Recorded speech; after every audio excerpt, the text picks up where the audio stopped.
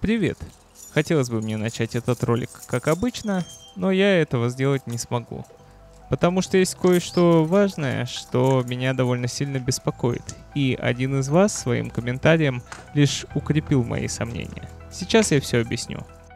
Дело в том, что этот кунг я приобрел, можно сказать, за бесценок, буквально по цене металлолома. И один из рабочих продавца, который как раз отвечал за перевозку кунгов, сказал мне, что этот кунг, как и несколько десятков таких же машин, находился не в воинской части, а в лесу в нескольких десятках километров от города, что довольно странно. Помимо этого, этот кунг был произведен в 81 году – а списан, по всей видимости, до 89-го. 8 лет это, казалось бы, не так уж и много для военной машины. Особенно с учетом того, что она была оснащена противохимической и противорадиационной защитой. Как раз таки это свойство позволяло успешно поменять эту модель кунгов по ликвидации последствий Чернобыльской аварии в 1986 году. А что если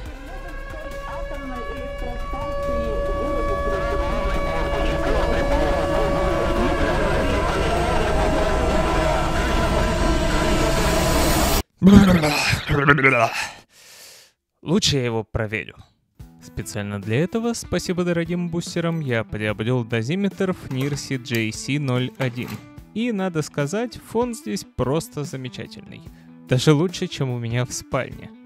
На улице я также провел измерения, и там тоже все чисто. Можно выдыхать и приступать к работе. Как-то слишком облезло выглядит этот кунг, вам так не кажется? Надо бы здесь все подчистить.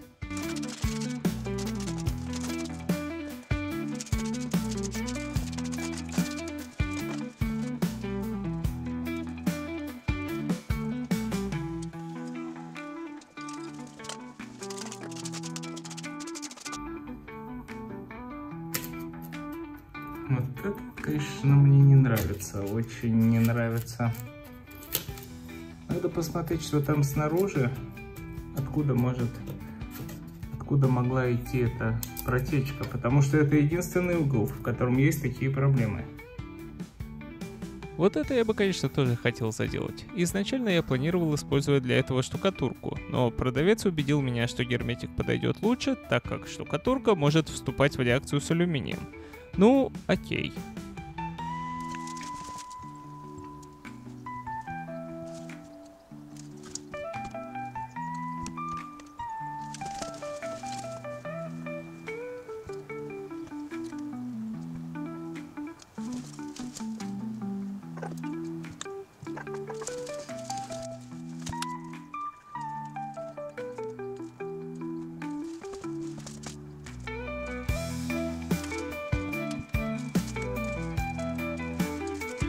То же самое я проделал и снаружи. Шторки тоже будут мешать, надо бы их снять.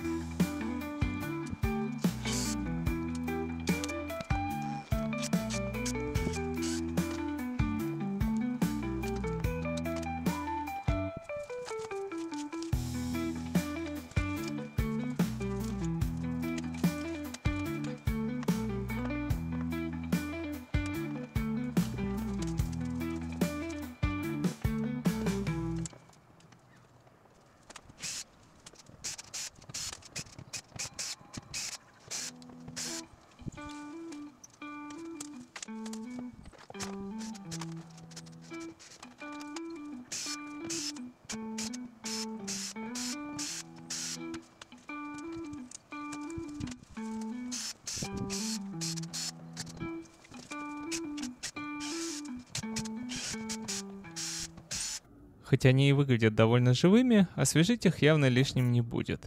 Пожалуй, постираю-ка я их. Вход, как обычно, пойдет самый дешевый автомобильный шампунь.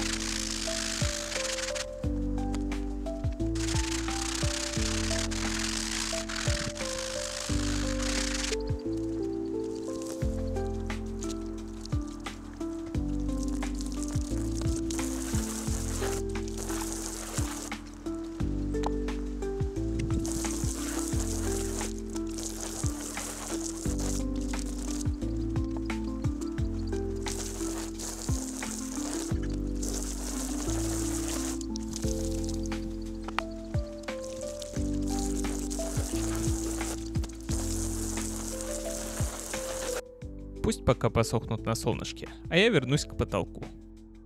Разбирать весь потолок ради такого небольшого кусочка мне не захотелось, но укрепить-то как-то надо. И тут мне в голову пришла блестящая идея. А почему бы не армировать это все полиэфиркой со стеклотканью?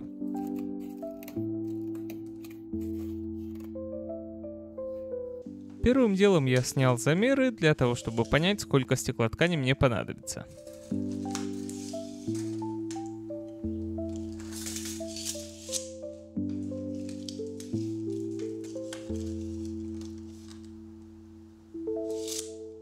Затем нарезал ее в необходимых мне размерах.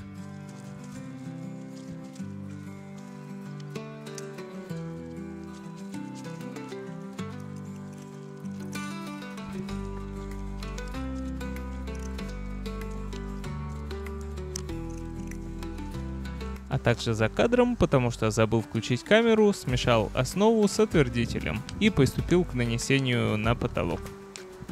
Смола была довольно жидкой, а я был уверен в своих силах. Все-таки у меня, как-никак, уже был кое-какой опыт работы с полиэфирной смолой и стеклотканью. Все-таки я чинил товарищам и лодку, и бампер. Однако кое-чего я не учел. Что лодка, что бампер не находились у меня над головой. Поэтому, когда я начал добавлять стеклоткань, все немножечко пошло по одному месту. Никак уж мне не удавалось ее пригладить. Ну и плюс ко всему было довольно жарко, и кунг сильно прогрелся, а я, похоже, добавил многовато отвердителя, из-за чего желатинизация полиэфирки началась раньше, чем я рассчитывал, прямо во время работы. Да ладно. Это не должно так работать. В результате стеклоткань сама попросилась отклеиться, я ей отказывать не стал. Что ж, не самая удачная попытка. Но, думаю, полиэфирка все равно чего-то там да закрепит. Пол она уж точно отлично закрепила. На рукожопил накажи себя спортом. Умнее, конечно, не станешь, но сильнее точно. Что тоже неплохо. Уже поверх полиэфирки я решил нанести вот такую вот шпатлевку. И надо сказать, что работа с ней, что получившийся результат мне очень даже понравились. Thank you.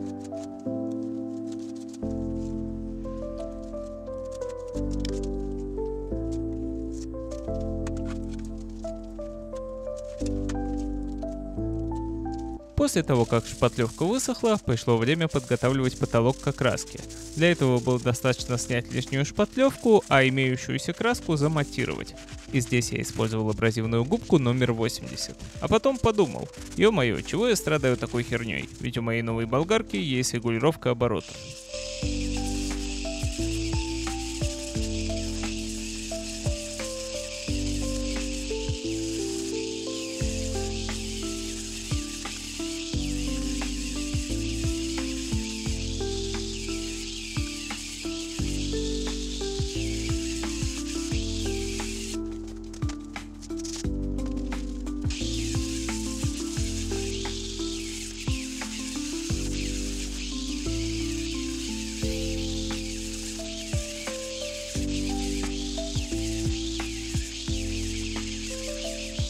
Недоступные для болгарки участки я обработал все той же губкой вручную. И нет, я не знаю, почему она звучит как болгарка. Это какой-то прикол да Винчи.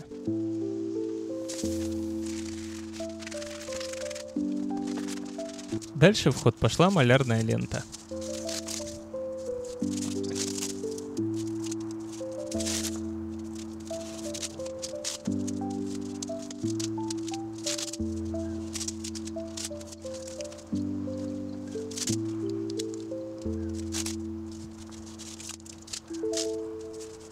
Прикрученный пару серий назад столик я все-таки решил открутить, чтобы не попачкать. Для потолка я выбрал универсальную грунт эмаль PF115. Ну а что, проверено временем. Да-да-да.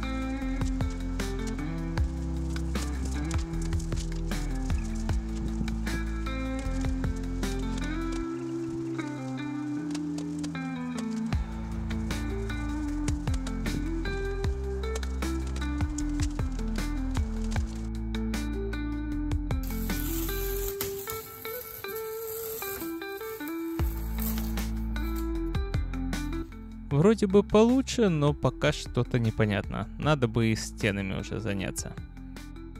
Первым делом я помыл их и заодно обезжирил с помощью изопропилового спирта.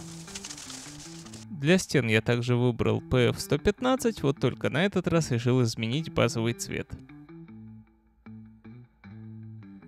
Вначале я аккуратно прокрасил все стыки с помощью кисти и только потом перешел к покраске валиком.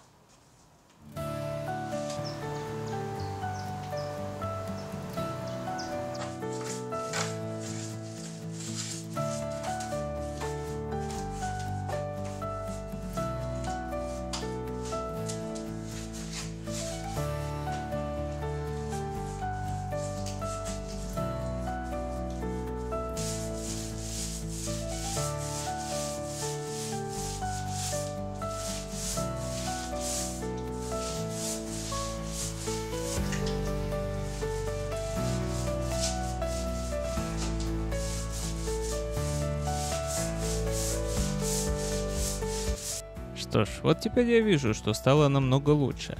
Только теперь начал бросаться в глаза совершенно отвратительный пол. Надо бы и его освежить.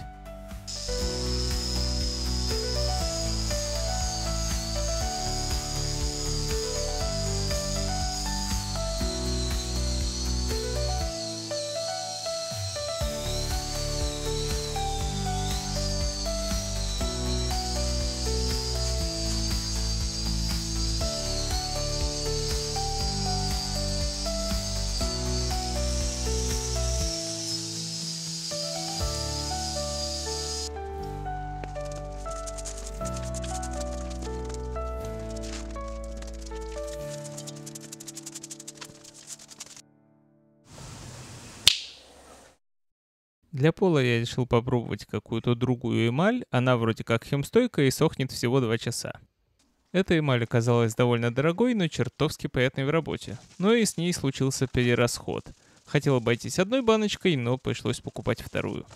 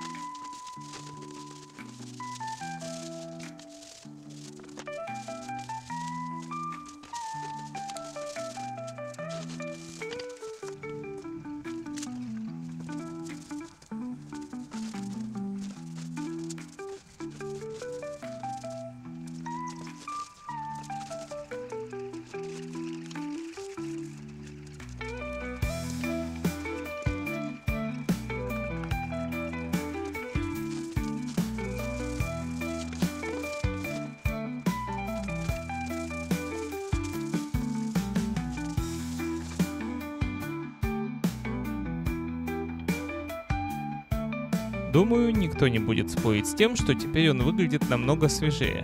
То же самое касается и запаха. Если раньше он вонял машинным маслом, теперь остался только легкий остаточный запах краски, который скоро тоже выветрится. Ну а я? Дальше я займусь электрикой и, самое интересное, электроникой. Так что спасибо за то, что посмотрели этот ролик и не пропускайте следующий, ведь дальше будет только интереснее.